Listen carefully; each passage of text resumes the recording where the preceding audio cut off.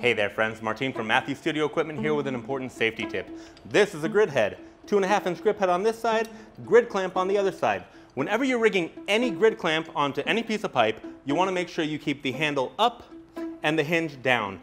Gravity is gonna make sure that that handle stays seated and even if it loosens up, it's gonna stay connected to the pipe. If you do it the wrong way with the handle down, gravity is gonna ensure that that handle is gonna fall right out and whatever you have rigged is gonna come crashing down off of your pipe. So make sure you rig it right, keep it safe with the hinge to the bottom and the handle to the top, crank it down, and there you have it, a safely rigged grid clamp. Matthews Studio, designing from the inside of the industry out. We know how this stuff works. That's why our stuff is so cool. I don't know. Go figure.